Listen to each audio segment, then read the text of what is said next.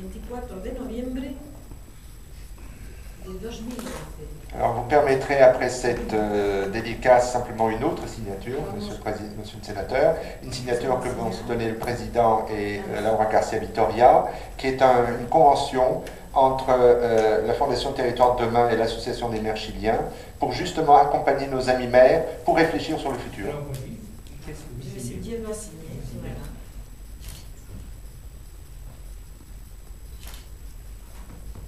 Monsieur le Président Non, c'est déjà signé. C'est déjà fait. voilà. Eh bien, félicitations. Merci. Signature Merci. Merci, Président.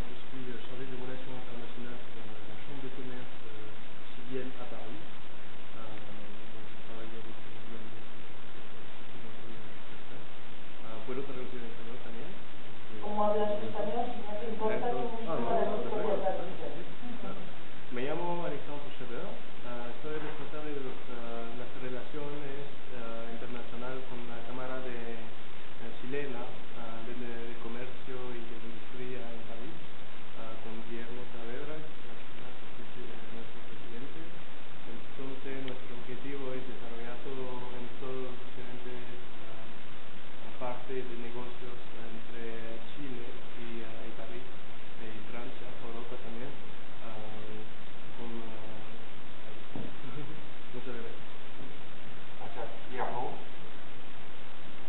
Donc mon nom est Christophe Legrandy, euh, je suis président d'un cabinet président d'un cabinet de conseil et d'audit spécialisé en management et en système d'information. Je suis aussi conseiller du commerce extérieur et je suis aussi chercheur euh, sur euh, tous les modèles entre guillemets des sociétés d'entreprises de demain. Et je suis co-auteur avec André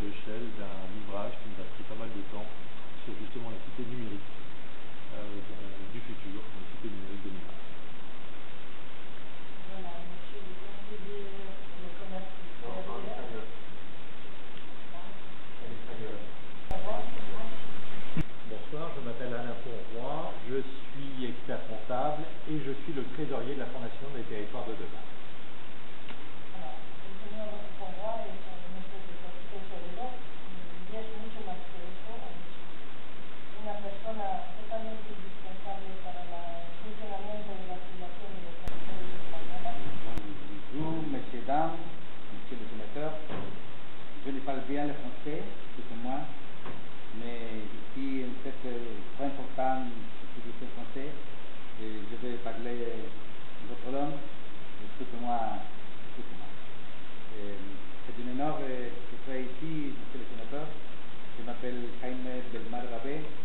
je suis le directeur général de l'association chilienne de municipalités.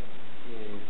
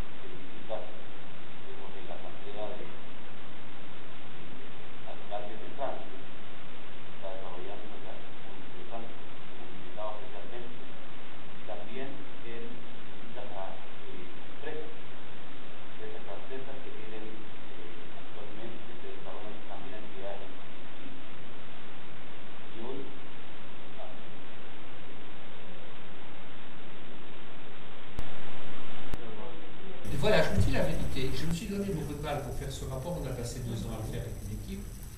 Et puis après, il fallait que je me fasse réélire aux élections sénatoriales. Les élections sénatoriales en France, ce sont les, les maires et les adjoints des, des, petits villages qui votent, de chaque commune. Il y a 36 700 communes. Donc moi j'avais dans mon département 334 communes, je suis allé voir les 334 communes plein de fois pour que tout le monde... Nous intéresse, là, on verra là, c'est dommage que vous n'êtes pas des mains, parce que ce qui nous intéresse, c'est les rapports entre l'Europe et l'Amérique latine, entre l'Europe et le Chili.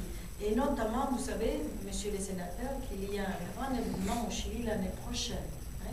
Donc, c'est ça qu'on va traiter demain. Je crois que demain, ça sera plutôt les rapports entre le Chili et la France. L'Amérique latine a connu un développement extraordinaire. Et qu'elle a beaucoup à nous apprendre? Et qu'elle a aussi un dynamisme. Xavier, donc, qui a rassemblé un petit peu les choses. Xavier, je vous laisse la parole. Merci beaucoup. J'aurais ainsi pour... Euh, euh, pour votre brillant exposé, Monsieur le Sénateur, une première question. Comment relisez-vous, à l'issue de votre euh, rapport en trois volumes, les théories euh, urbaines des années 70 et 80 autour de la défiance précisément de voir des villes polycentriques et au contraire des politiques qui visaient à euh, concentrer des activités plus dans le centre pour éviter ce qui se passe d'ailleurs ou ce qui se passait dans beaucoup de villes, c'est-à-dire une désertion du centre des activités économiques sans pour autant y voir se voir remplacé par un rééquilibrage de l'habitat. Comment est-ce que vous quel est quel est le constat dans la réalité qui, euh, vous, avez, qui vous a fait découvrir une erreur de paradigme dans, ces, dans cette ancienne vision de la ville? C'est un grand débat. Bon, c'est le débat finalement Le Corbusier. Le Corbusier a inventé euh, quelque chose, une forme euh, d'habitat en hauteur, d'une cité euh, qu'il qu voulait euh, totalement moderne. Et ça a aussi contribué à faire avancer l'humanité. C'est-à-dire que, bon, À si vous voulez, il faut... le travail, ça. Oui. Le Conseil économique et social.